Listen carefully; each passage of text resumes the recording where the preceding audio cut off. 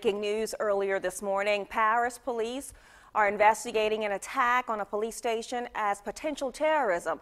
The attacker, armed with a knife, was killed by police. They say that man was wearing what appeared to be an explosive vest, but it turned out to be a fake. NBC News is now confirming that man was carrying paper with an ISIS flag on it. This morning's attack came as France marks one year since Islamic extremists attacked satirical newspaper Charlie Hebdo. The police official said police are viewing the incident as more likely terrorism than a standard criminal act.